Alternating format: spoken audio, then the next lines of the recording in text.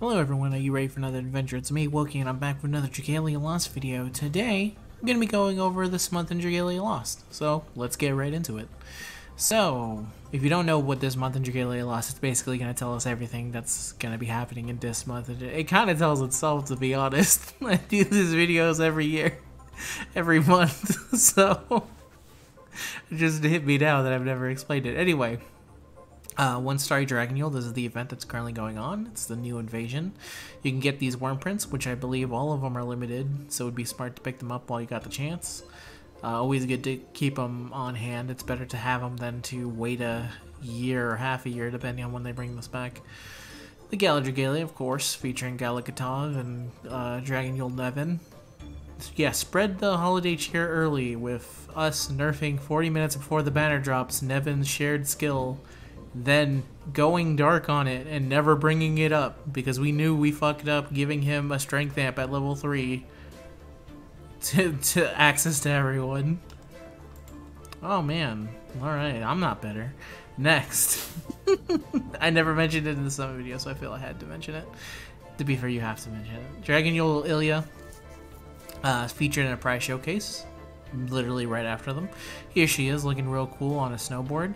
Like that they have one for Mordecai. Here he is in a, a get-up as well, but in the story he's just regular old Mordecai, which is pretty funny.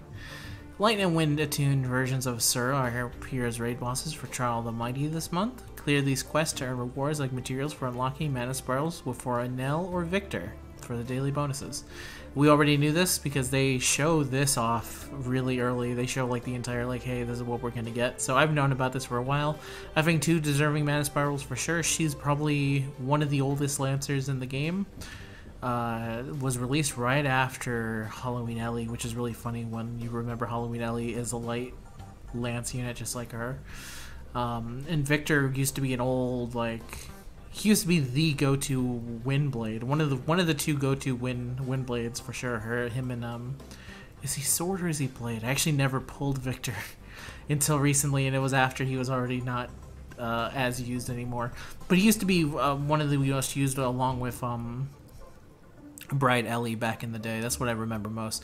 When is Bright Ellie gonna get her mana spiral? Damn. There's so many units to give mana spirals to and not enough bosses. To make them fight for Trials of the Mighty. Anyway, Legend difficulty for Jaldabaoth and Piercing Gale and the Rise of the Sinister Dominion will be added on the 7th. Congrats to everyone out there who uh, is ready for it. You got new content coming. The Great Dragonyule Offense Onslaught event will return mid-December. Part 1 of Chapter 23 of the main campaign will be added in late December with every new chapter. We draw closer to the heart of the story. There we go get ready for that. You're going to have to catch up on a lot of stuff. Various events are planned to ring in the new year at the end of December for further animations. Please, please wait, which is 100% expected. They're not going to tell us what's coming at the end of the year because they never do. Anyway, future updates. The long-awaited Enter the Kaleidoscope mode will be added in the next update. You begin your journey by selecting a single adventurer from your roster to explore the labyrinth.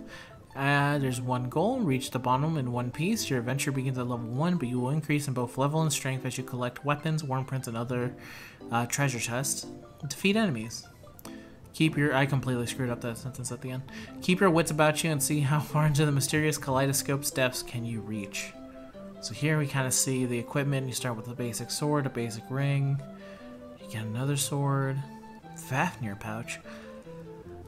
You can equip a single weapon up to three Wurmprints of any given time, but if the equipment appears identical on the surface, even it has its own varied collection, stats, skills, and abilities, just like a roguelike would. Uh, so to be sure to examine your loadout down to the finest detail and upgrade when something better comes along. Hmm. Schools can, uh, schools. Skills can be found in treasure chests or dropped by defeated enemies. You can choose from eight different scared chills Scared chills. Shared skills. I don't know what's going on with my voice today. Uh, if that seems like a little overwhelming, fear not. The battle will be put on hold while you evaluate what's best, best to use. As you progress through the labyrinth, powerful enemies will attempt to stand in your way. Once defeated, they will drop multiple dragons, but you can only keep one, so choose wisely.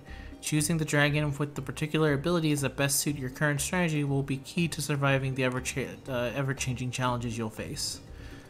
So, I don't know a scenario where you would want to pick uh, my little dude here over the big dude, but it's possible. That'd be really funny if it turned out that it, there are scenarios where you would rather have him. Like skills, you could choose which dragon to shapeshift into from a oh from a collection that you've amassed along your journey. The actions will remain paused while you decide which one to shapeshift. So read the battlefield and evaluate your option. That's cool. Note that certain rules apply to adventures with unique shapeshift or dragon drive gauges. Everyone needs a helping hand now and then, and this Fafnir has your back. You're still in the driver's seat, but as you explore and fight, the Fafnir will provide support by attacking enemies and restore your HP. For more info into for Into the Kaleidoscope and its mechanics, please see the corresponding notification when the mode is released. This seems really cool. I can't wait to actually try this out because um, it, it could it has potential to be really cool if there's like different like scales to it of how difficult it is or the higher you are the more difficult it is or something like that. Um, a lot of cool different variations that you can kind of go down to. Maybe use stuff that you're not used to seeing like oh damn i randomly got this skill of this unit i've never used before. So now how do i adapt and actually use it? It's going to be interesting to see for sure though i'm going to assume these shared skills are all ones that actually no because this isn't the regular shared skill of ellie ellie's um, shared skill is um, the buffer. I remember that much. So it looks like it might just literally be every skill in the game, I think. That's cool. This cool this mode seems very cool, and I can't wait to actually play it and check it out. So anyway, in conclusion, thank you for reading this month's update. We're giving all players the following gifts this month. Sunlight Ores, Summon Vouchers 5, thanks for that. And we'll see you guys basically at the end of the month. So yeah, this update, um, it makes sense for what they kind of go. December is going to be a very tough month because at the end of the year is, of course, New Year's and all those units are limited. But at the beginning of the year, we have Dragon Yule characters who are also limited.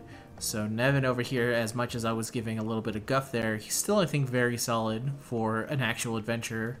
Just his shared skill isn't as godlike as it was when it was first announced. Um, is, of course, pretty good. I don't know what she does, but just based off of this look, this particular set of stuff, she looks like worth owning. And plus you get a little Mordecai there. If you're a person who's just in it for the Mordecai smile, he also comes with the package. Um, yeah, these two definitely need the spiral. So all in all, I think pretty good. There's going to be some stuff to go around. It The way it kind of is parted around kind of feels like there's not much, but there should be with this new mode, with the the legend difficulty for Jalbul which I usually downplay a lot because I don't do it, but there's plenty of people who do. so I'm, I'm learning to do that a little bit better and say like, oh no, this is coming for a lot of people and they'll enjoy it. So yeah, I think this month should be pretty pretty active, I think, especially as we all wait for kind of the end of the year and see what Dragalia has in store for us, because I'm sure it will be great. But yeah, that's the end of this video, everyone. I hope you liked it. If you did, you can leave a like. I didn't ask for it at the beginning, because I felt it would just be better to actually get into what's going on in this month and make it a little better for you guys and potentially make it much worse for you for me because not a lot of people actually make it to the ends of video so if you made it this far feel free to leave a like because it helps a whole bunch comment down below about what any of the things I discussed here, and also subscribe to me if you want to feature more videos featuring me. So yeah, that's it. Goodbye everyone. See you guys next time. Have a good day and have a good night. Bye bye.